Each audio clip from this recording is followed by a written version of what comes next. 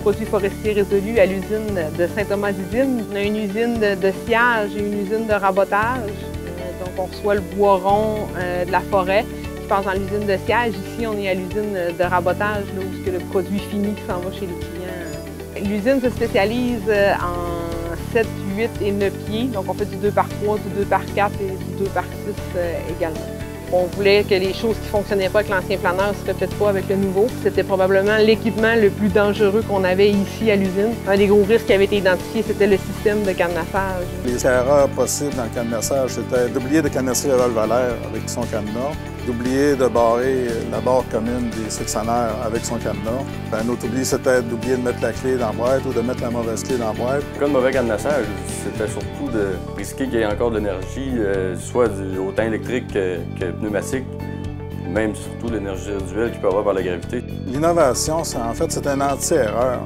La barre de cadenassage, c'est un système qu'on connaît déjà à l'usine pour l'avoir appliqué dans d'autres euh, secteurs. Mais on, a ajouté une petite partie à ce développement-là en intégrant la valve à même la barre de cadenassage. La façon qu'on a voulu blinder ça et rendre ça le plus simple possible aussi, c'est euh, en utilisant une clé captive qu'on appelle.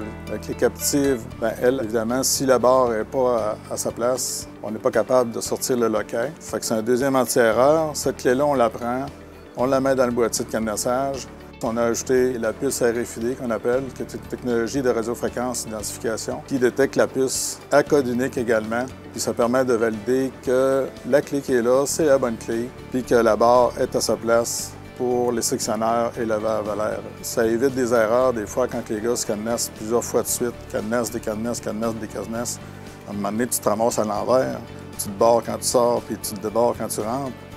Ça me rend fier d'être dans une entreprise où que la, sécurité est au premier plan. Je suis fier comme représentant prévention, je suis fier euh, pour l'équipe. Euh, je suis fier aussi qu'on ait pu présenter quelque chose d'innovateur puis que la compagnie a embarqué. Je pense que le système est exportable dans le sens que euh, du cadenassage, en a un peu dans toutes les usines. Les valves à air, c'est pas rare qu'un équipement ait une portion électrique a aussi une valve à l'air. Les essais de démarrage bien, sont obligatoires aussi au niveau du cadenassage dans d'autres entreprises. On a un comité de santé et sécurité ici à l'usine. Euh, donc, les travailleurs se sont impliqués, nous ont apporté l'idée. On a aussi eu un comité de projet, donc qui, avait les parties patronales et la partie syndicale euh, dedans. Donc, euh, ensemble, ils ont apporté beaucoup d'idées. C'est important si on veut qu'une idée fasse son chemin puis que ce soit bien implanté. On ne veut pas juste imposer des choses. On sait qu'en santé et sécurité, souvent, c'est imposé, mais quand c'est fait ensemble, en partenariat, c'est quand même eux qui opèrent le système. Donc, c'était vraiment intéressant de le faire ensemble.